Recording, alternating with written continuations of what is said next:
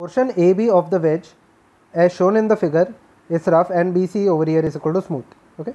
A solid cylinder rolls without slipping from A to B.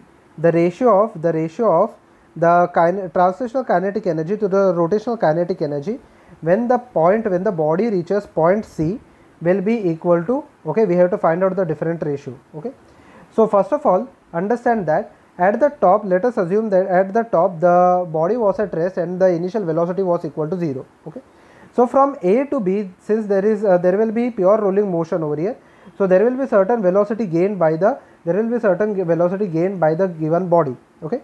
And from b to c okay b to c over here it there is uh, there is only smooth there is only smooth surface so the body will roll without any friction.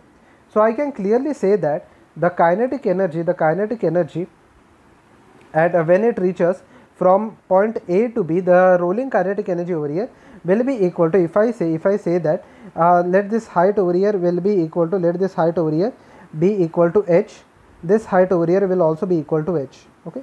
So first of all let us let us find out the gain in the let us find out the gain in the uh, let us find out the gain in the energy when body reaches from A to B.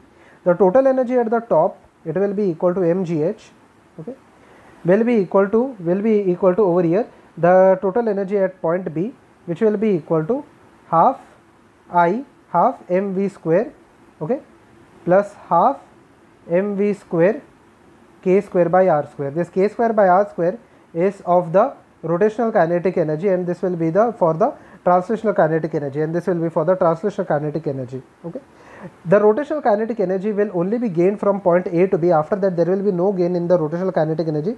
Since there is no friction, there is only smooth surface, so only the kinetic energy will be, the translational kinetic energy will be gained.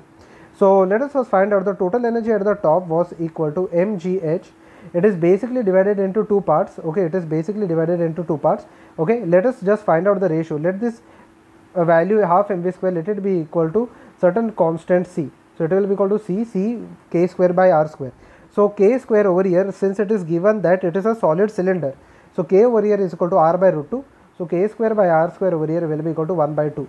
So basically the total energy will be divided into this is equal to 3 by 2 C okay is equal to mgh okay.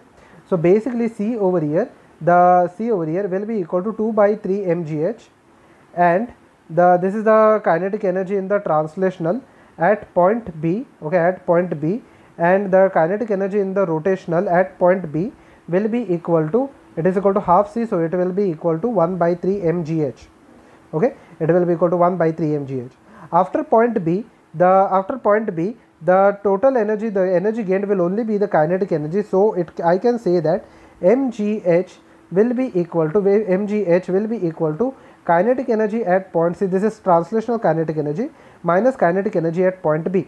So basically kinetic energy at point C will be equal to mgh plus over here kinetic energy at point B the translational kinetic energy at point B was 2 by 3 mgh which is equal to kinetic energy at point C will come out to be 5 by 3 mgh okay.